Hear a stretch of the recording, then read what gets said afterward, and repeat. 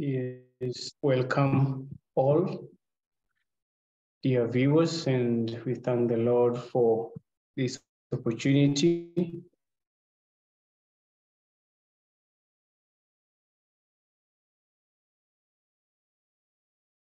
That he has given us.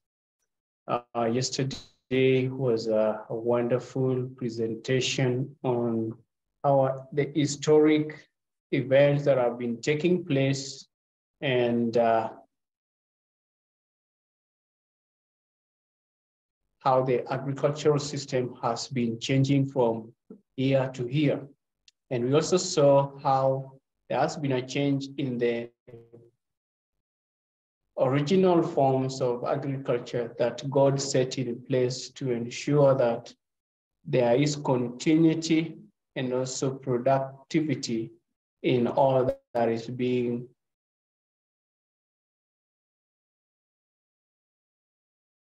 ground. We found that the earth industries or chemical fertilizer industry was developed by the Rockefeller family, the Monsanto family, uh, Monsanto group. We also found that the seeds have been changed and there has been a mechanical um, development of the soil that has hampered the growth of crops and destroyed the soil hygiene as well as the soil uh, biology. And so we are called to practice better methods of farming. That is what we are going to discuss today, restoration, uh, restorative mechanisms in the farms. So let's pray to get into the study today. Father in heaven, we thank you for giving us this opportunity and chance that we may hear you speak to us and educate us. So be with us. In Jesus' name we pray and believe. Amen.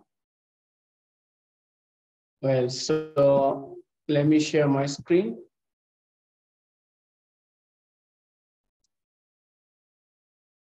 We are all called to be garden missionaries because the first occupation that God gave unto man in the beginning was tilling and dressing uh, the land.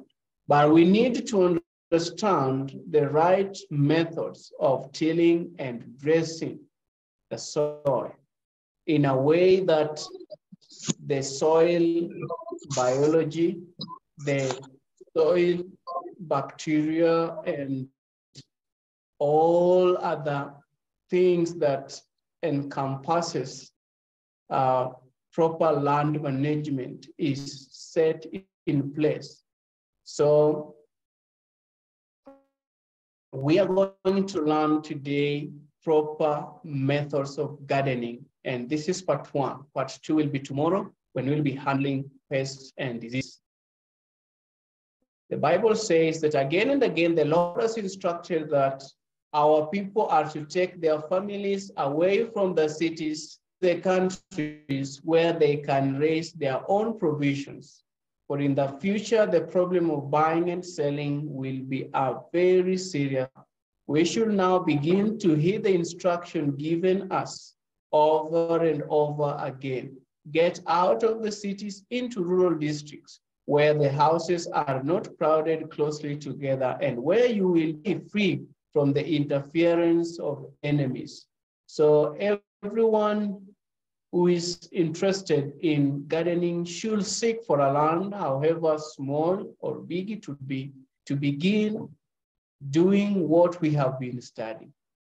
And we have to set farms in secure places where we'll be able to grow foods and also be able to preserve seeds um, that are not tampered with. Proverbs 22 verses 3 says, A prudent man foreseeth the evil and hideth himself, but the simple pass on and are punished.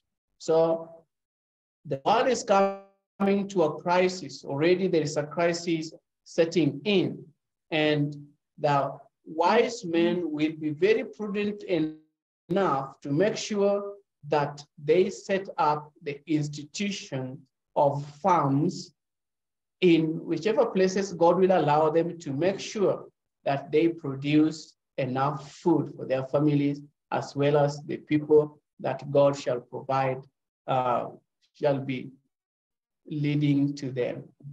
Genesis 2 verse says, And the Lord God formed man of the dust of the ground and breathed into his nostril the breath of life and man became a living soul. So man was born from the dust, and from the dust shall he eat all the days of his life.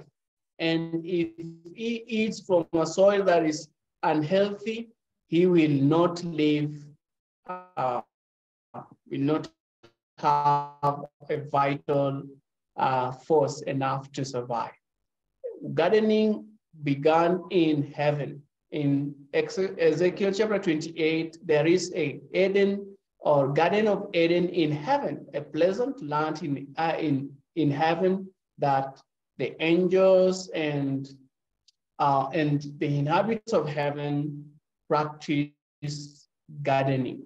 And that is why God presented a model of that farm in the beginning, the pleasant land in the east, that he grew fruits vegetables, nuts, and grains.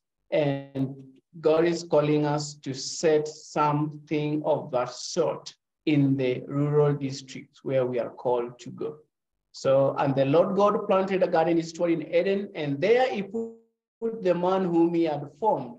And the Lord God took the and put him into the garden of Eden to dress it and to keep it. So God has set everything ready for man to make sure that he can be able to manage the farm. You remember in Genesis chapter 2, sorry, Genesis chapter 1, verses 26 says that God gave man dominion and even authority over the earth. And that authority has been misused.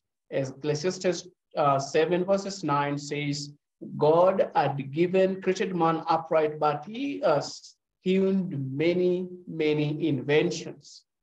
So out of the ground made the Lord God to grow every tree that is pleasant to the sight and good for food. So we have the fruit trees and not this because this is going to help us in restorative mechanism to bring the soil back to health.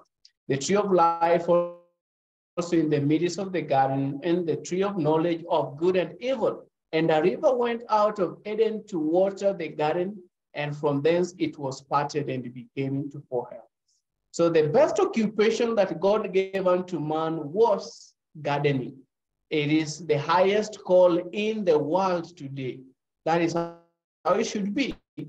The best occupation that our Creator gave to man was to till the land, what a wonderful work for us even today. God is a lover of the beautiful.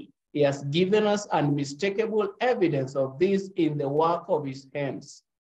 He planted for our first parents a beautiful garden in Eden. Stately trees were caused to grow out of the ground of every description for usefulness and ornament. The beautiful flowers were formed of rare loveliness of every tint and hue perfuming the air. It was the design of God that man sh should find happiness in the employment of tending the things he had created, and that his want should be met with the fruits of the trees of the garden. So God set farm in place so that man could find happiness. If we have lands and we don't find happiness in tilling and touching the soil, then we are in a misplaced work. This world need not to be your home or your the place of residence. But God put farming or garden in place to make sure that it checks in our indulgence habits and refine us and make us to be a people who trust us, us so uh, completely in in God. So in Genesis chapter 3, verse 17, and unto Adam he said, Because thou hast hearkened unto the voice of thy wife, and hast eaten of the tree of which I commanded thee, saying, Thou shalt not eat of it. Cast is the ground for thy sake. In sorrow shalt thou eat of it all the days of thy life. So because of sin, now we face challenges like weeds, challenges like uh, pests, like pests, and challenges like worms and all these viral infections that we get in the uh, in the in the farms that we produce and uh, the farms that we take care of. But God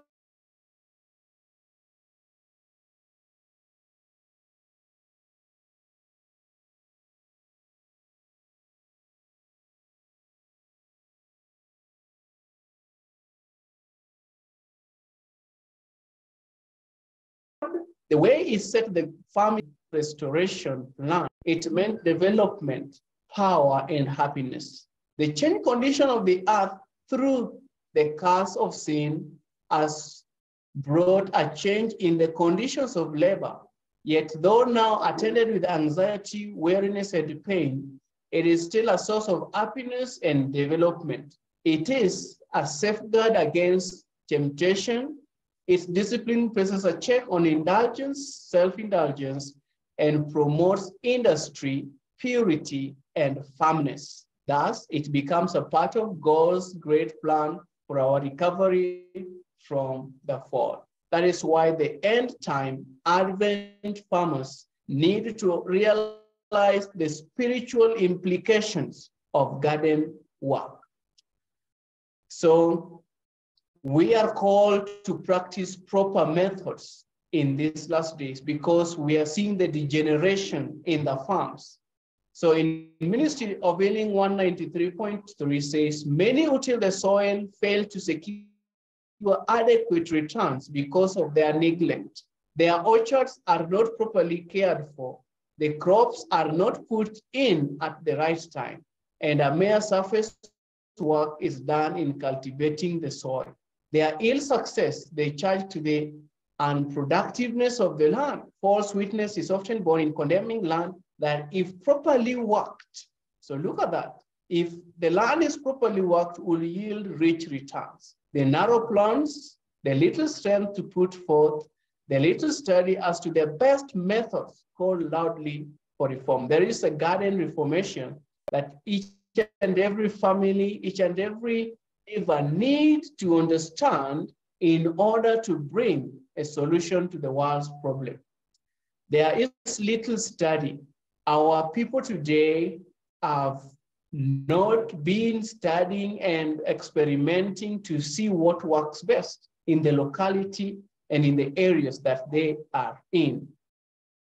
So we see the genetically modified organisms set in place and the GM foods have brought a lot of problems to the human society, lots of tumor and diseases. So these are the things that are affecting us that we as a people need to change and actually come up with a solution so that uh, we can have a healthy nation, a healthy family, and a healthy people. So there is a need for Christian farmers to do this work. Christian farmers can do real missionary work in helping the poor to find homes on the land and in teaching them how to till the soil and make it productive. Teach them how to use the implements of agriculture, how to cultivate various crops, how to plant and care for orchards. So in this class today, we are going to learn how to use, how to cultivate uh, crops and to plant fruit trees in a soil that is restored. We are going to look at the factors that hinder the productivity of the vegetables, the grains, the nuts, and the seeds that we produce. Let proper methods be taught to all who are willing to learn if any do not wish you to speak to them of advanced ideas, so there are advanced ideas to be applied in this end time. Let the lessons be given silently. Keep up the culture of your own land. Drop a word to your neighbor when you can, and let the harvest be eloquent in favor of right methods. Demonstrate what can be done with the Lord. We're going to step in to the um, in uh, into the uh, footsteps of presenting um,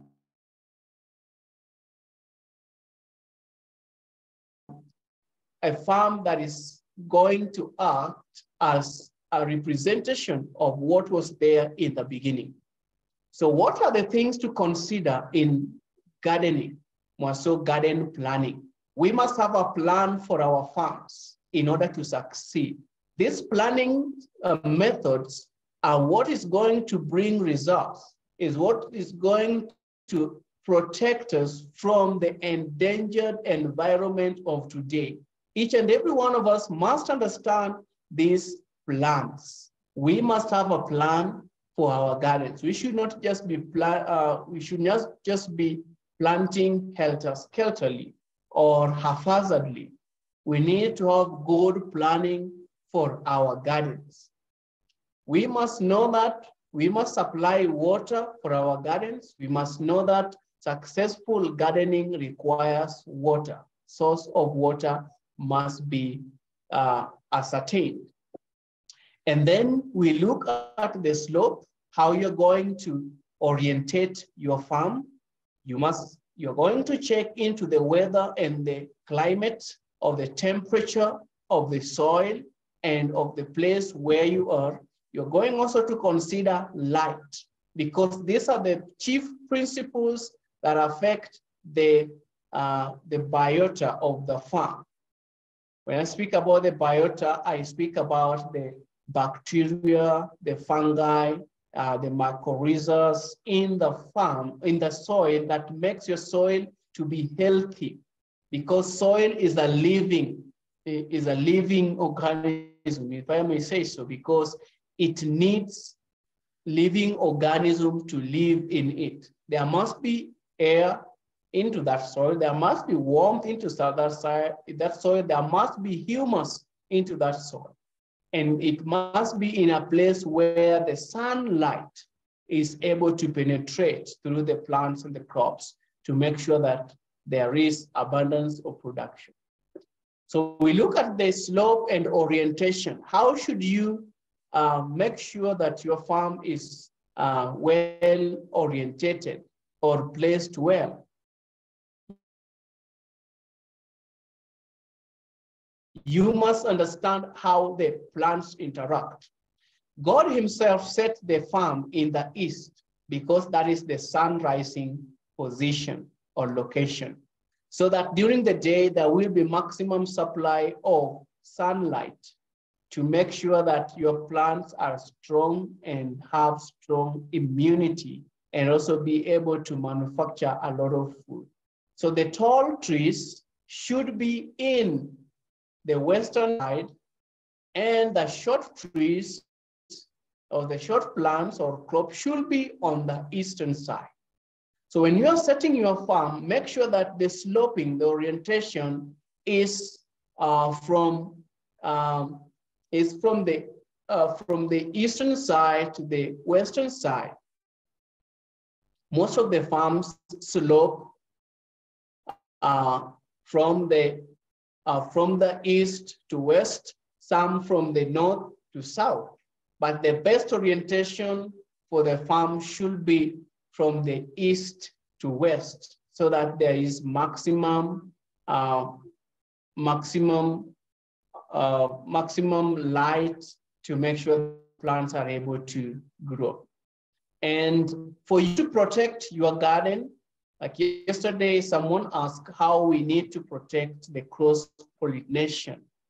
You need to know which plants or which crops to plant to surround your farm.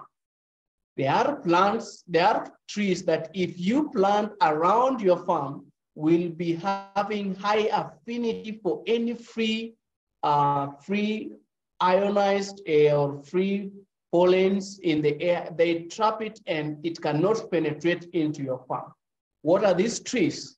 Trees like pine, trees like, ced uh, like cedar, trees like cypress, uh, trees like fir are very important trees that when we plant them on the edges of our farms, they are able to trap in the free pollens so that they cannot enter into your farm.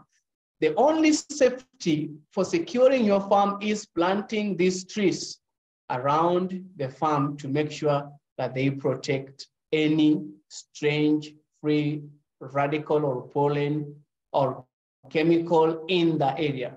Uh, we also, if you do uh, specific studies on the needle-like leaf trees, the pine, the cedar, the cypress, we find that they are able to uh, they are able to increase oxygen supply in the vicinity or the area that they are in. They are able to filter any chemical in the air and they have high affinity to trap it and tap it to make sure that it does not oscillate around your farm. That's why in the spirit of prophecy, we are admonished to plant the needle-like leaf trees around the farm. You need to know which specifics of those trees. They need to be trees that are able to make uh, to make your soil to be in good uh, uh, good aerated condition. The pine, the cedar, the cypress, the fir, the um, uh, which are the grevillea? all those are very helpful in restructuring and re uh, reestablishing the soil, uh, uh, the, the, the, the soil texture, as well as aerating the soil. So those trees need to be planted around your farm to protect you from all that may arise.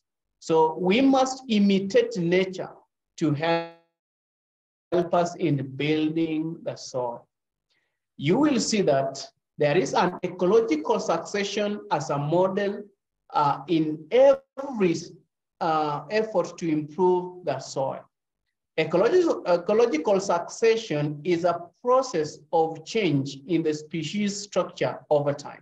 The established species influence the soil composition and alter it over time. Significant difference in soil found in bare field than in the forest.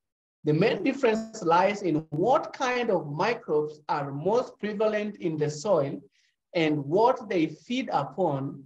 Generally, fungi respond to surface decomposition, whereas bacteria prefer soil disturbance.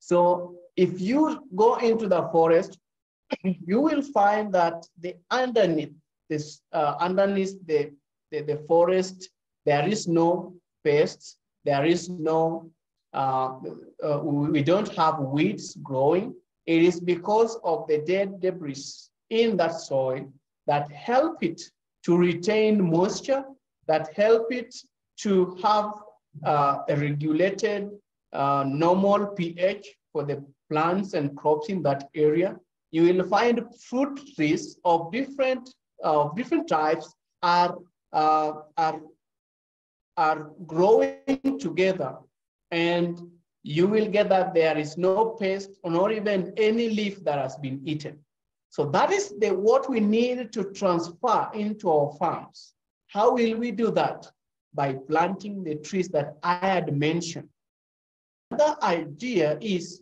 bringing in the indigenous trees. If you plant indigenous trees, they are very helpful, helpful in bringing good compost that are able to restructure and develop your soil. You will also realize that nature itself speaks to itself. How? Whenever there is a bare soil, nature will speak and what will happen? There will be grass continuing, beginning to grow. After some time, there will be some plants beginning to grow. After some time, the trees will begin to grow, to grow. And then over a period of time, there will be a forest developed into that area. When we develop a mini forest in our farms or surrounding our farms, we will be able to, re, uh, to retain the nutrients, we'll be able to supply enough, uh, enough humus for our, our soil or compost for our soil that is going to make it so healthy and very nutritive for the good bacteria. The weight of fungi present in forest soil is much greater than the weight of bacteria. And then in grasslands, however, there is around an equal distribution of the two. In agricultural soils that are routinely tilled in contrast, the weight of fungi is less than that of bacteria. So you will find that in, uh, in, in, in the forest areas, the bacteria levels are high, the fungi levels may be a bit less. In the grassland where we find the pastoralist mostly, or in the plains, uh, the the, the, the, the, microbacteria tend to be less and the fungi are, sorry, the, the, the, the weight of fungi is less than that of bacteria. It means that there is a lot of bacteria uh, in the grasslands than the fungi. But all these are helpful for, uh, for the maintenance of your soil.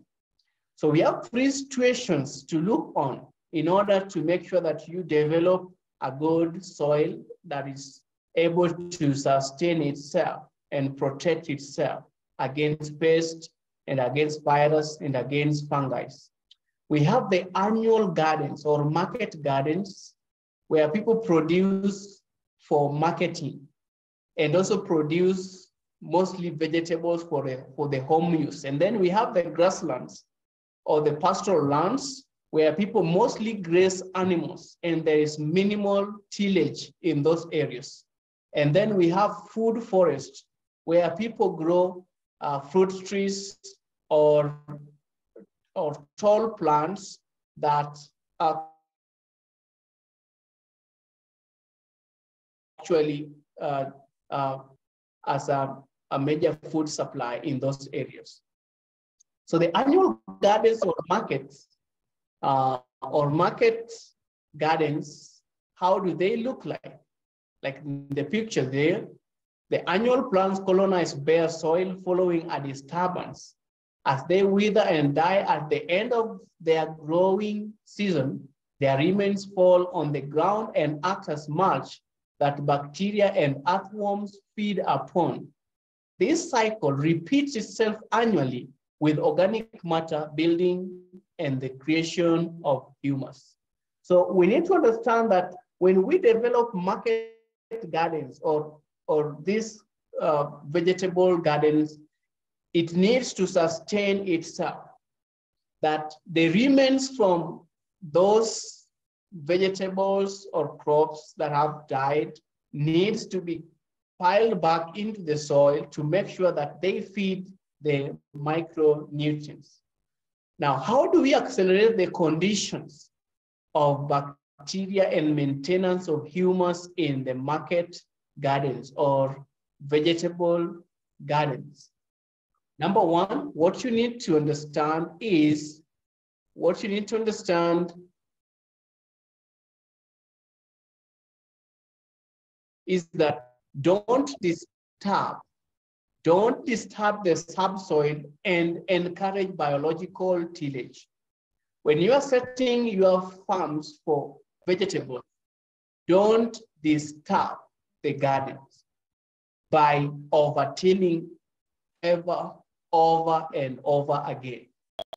Lay your, your humus, lay your, uh, your compost, and also surrounding your farms with plants like Tithonia, plants like uh, lemongrass, plants like comfrey, plants like um, Lantana camara, they help you to protect the ground so that you will not be able to lose a lot of nutrients.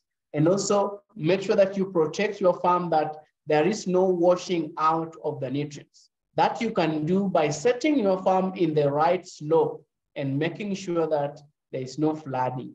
So don't disturb the subsoil and encourage biological tillage. Biological tillage is where you allow the, the earthworms uh, and the good, um, the, the, the good bacteria to work on your soil to break it down by itself. It only, it only works or it only becomes successful when you provide food for those bacteria. What are the foods for the bacteria? The compost, the, the, the, the, the, the sugar from the, we call them glycosides, or foods that are having sugar in themselves.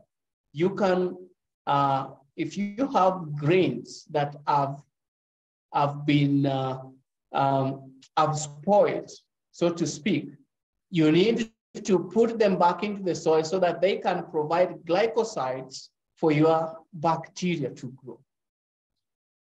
So another thing you need to do is soil pH has to be maintained in its right, uh, in its right scale. Soils can be classified according to their pH value. 6.5 to 7.5 is neutral and over 7.5 is alkaline less than 6.5 is acidic and soils with pH less than 5.5 are considered strongly acidic. You need to understand your soil pH so that it, the plants in there are not going to be affected. Most of the time, you need to make sure that the pH is maintained by applying uh, dolomite or things like lime the agricultural lime that will balance the pH and bring it into the normal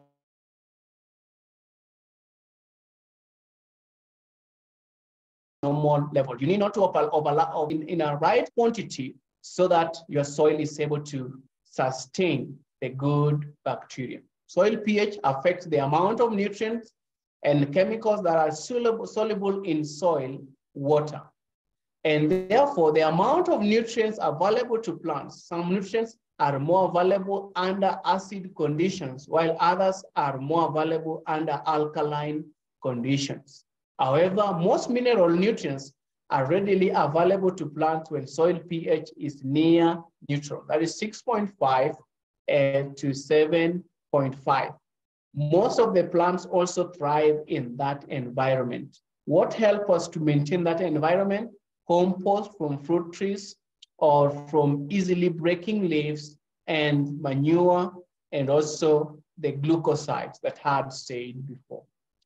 The development of strong acidic soils that is less than 5.5 in pH can result in poor plant growth as a result of one or more of the following factors.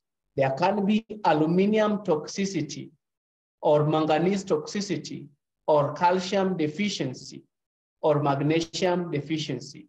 Then low levels of essential plant nutrients such as phosphorus and molybdenum. And then alkaline soils may have problems with deficiency of nutrients such as zinc, copper, boron, and manganese. Soils which with an extremely alkaline pH greater than nine are likely to have high levels of sodium. So the we need to correct balance where the soil pH is between 5.5 and 7.5. So every effort should be taken to check soil pH levels regularly.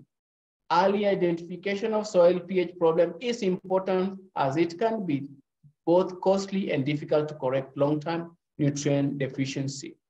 So uh, the calcium deficiency and magnesium deficiency has led to poor soils in many, many places. And then these two linking minerals, the phosphorus and the molybdenum, you know that the phosphorus, if it is there, it is what causes your calcium and the magnesium to go into the soil. And then calcium is able now to direct most of the nutrients, direct most of the nutrients into the plant. And then again, if your soil is having, is low in manganese, most of the nutrients like uh, calcium still cannot be uh, assimilated into the soil and then into your plants. So you need a good balance of this. The only way, uh, direct way that you can do that is bringing your soil to life with compost. So good compost supplies both the organic matter for soil building and the fertilizer for the crops. And most importantly, it's packed with soil organisms that trigger biological activity. You want to, you want to have the farm, the soil having good bacteria maintained.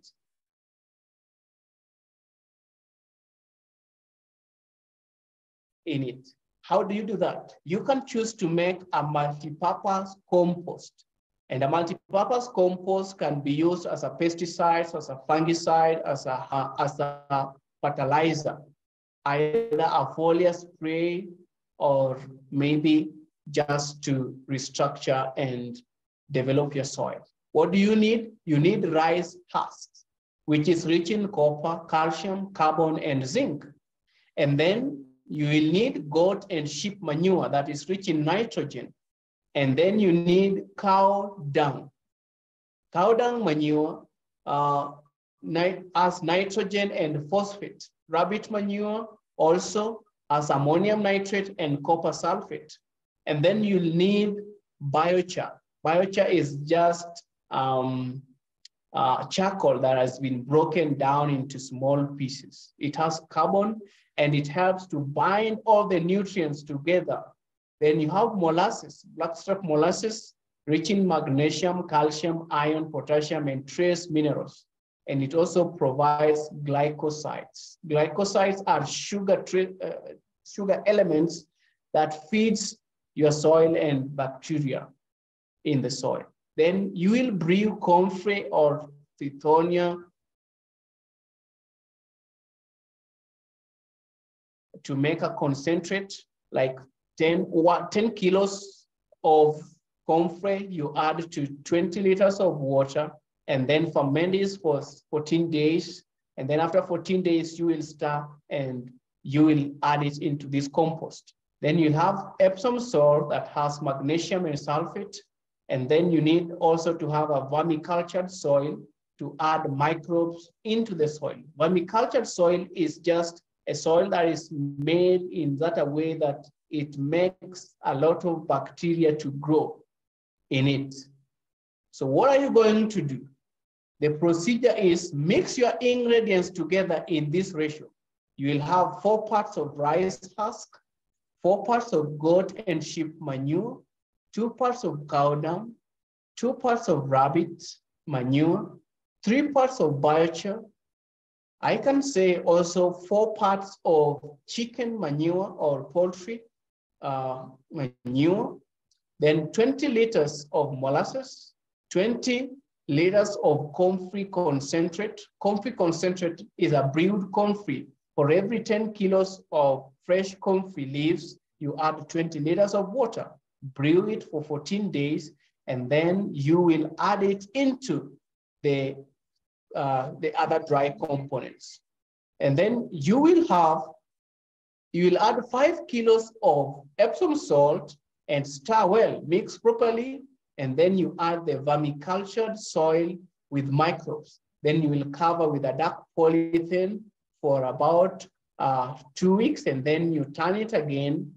After two weeks, uh, you, you, you turn it again so that it mixes properly. You can add more molasses or more of the comfrey or Tithonia or Lantana camara concentrate. So you need to mix them well. And then uh, you add the comfrey, lantana, or tithonia uh, concentrate, and this will be very rich. Be turning it after every two months for two, after every two weeks for two months, and then once it has turned color and it is black, it is ready for use. You can either use it as a foliar, you can either use it for a fungicide or use it as a fertilizer for planting. And for planting, you'll only use two tablespoons in every hole. As a foliar, you will use one kilo in five liters of water you put in five liters of water, you allow it to stay overnight. In the morning, you will start. you will start and then allow to settle for some time, sieve, and then apply it on the roots or on the leaves of your vegetables or your plants. Very, very effective. So that is bringing your soil to life using good compost, complete fertilizer. If you cannot manage that, you will have the, the droppings, the leaf drops of any, um, any, any fruit tree or any Lantana camara or comfrey or tithonia or any plant that easily, the leaves easily break up and compose very fast. This will help in building and maintaining good soil. You need also to know how to, uh, to plant cover crops. The cover crops like Irish no, sweet potato are very helpful in restoring a soil that has been affected by the fertilizers of today and also the glycophosates, glyphosates. Uh, if you plant sweet potato over and over again in your soil, it will be able to restabilize that soil. And it also protects the, um, the good bacteria in the soil. Maintain organic matter with mulch also. You need to know what things help you to, uh, to, to form good mulch so what are they? The maize stalks. After harvesting your maize or even uh, removing the maize cobs, you need to grind them or cut them into small pieces. And then during rainy season, you apply them on the farm. They will be able to break up and also protect your soil. The bean husks or the green beans, not green beans, green manure made from beans wherein you grow beans for one month and then after one month you plow them back into the soil. The sweet potato vines, you cut them in small pieces during the rain season, apply them on the soil. It will be very helpful. The red clovers, the alfalfa, the soy husk, the rice husk, the comfrey leaves, the sugarcane leaves, or alfalfa are very helpful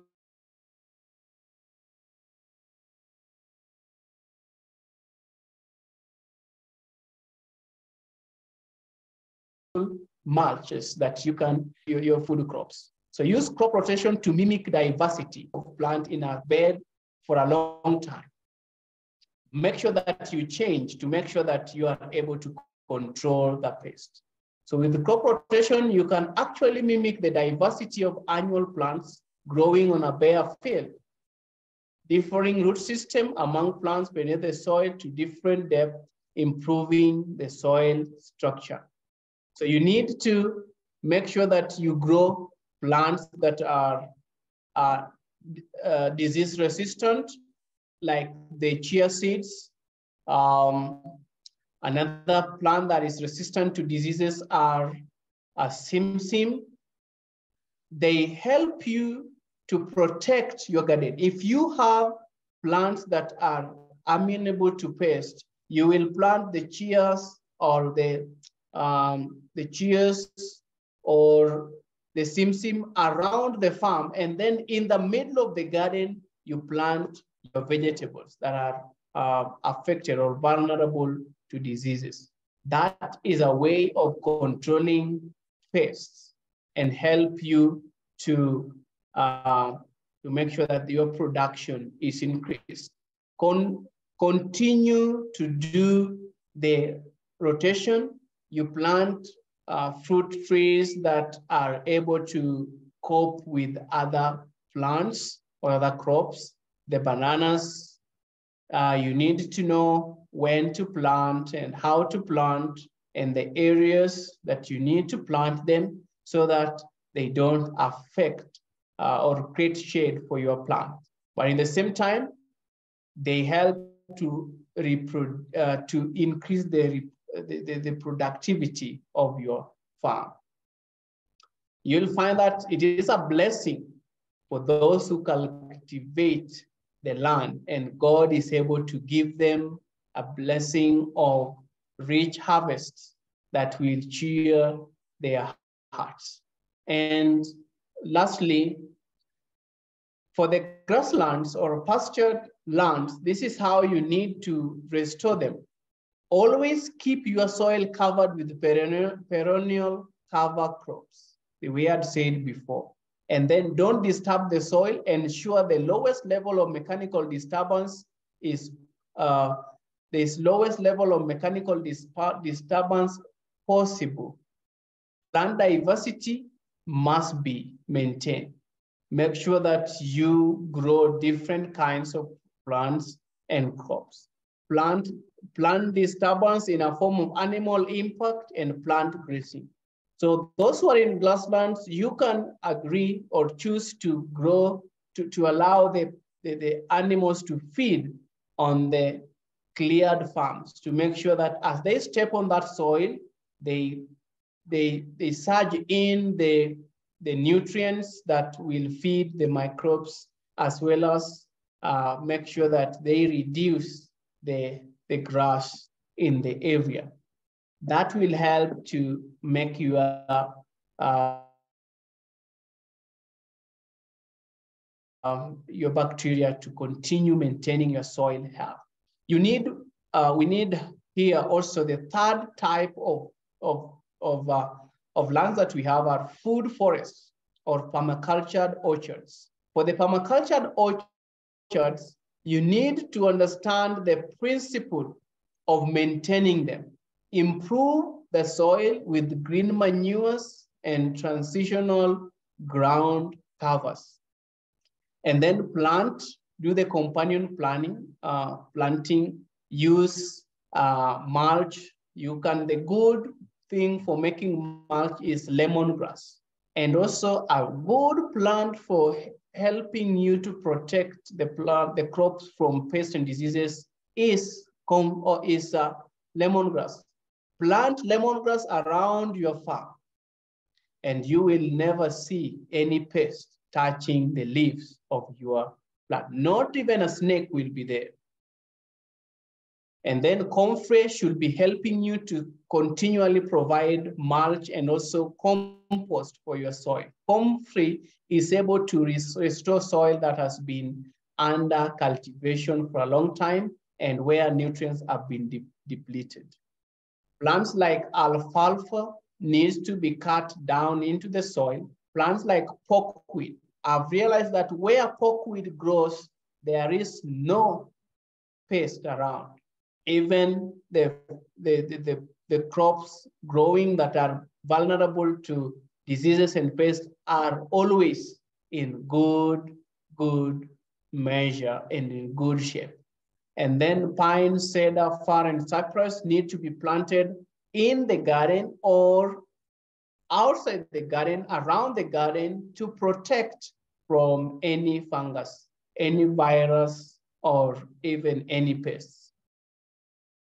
You need to plant nitrogen fixes which are very helpful, the leguminous plants, the, the, the, the, the, the um, peas, uh, the peas, the beans, the, the, the, the groundnuts or the peanuts, soybeans, red clovers help to fix nitrogen into the soil.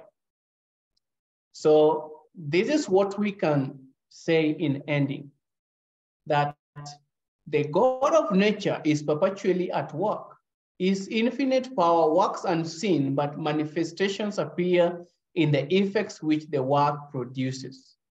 The same God who guards the planets work in the fruit orchards and in the vegetable garden. He never made a thorn, a thistle, or a tear. These are Satan's work. The result of regeneration introduced by him among the precious things but it is through God's immediate agency that every bud burst into blossom. When he was in the world in the form of humanity, Christ said, My Father worketh hitherto, and I work, in John chapter 5, verse 17. So when the students employ their time and strength in agricultural work in heaven, it is said of them, You are laborers together with God. We need to be good laborers with God. And then we learn to be patient. You need to be patient to restore a soil that, has, that is unproductive productivity. You need to be patient.